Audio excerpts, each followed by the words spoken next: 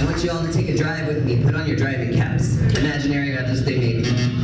And uh, imagine yourself trying to find something to listen to on the radio. Are you having any luck?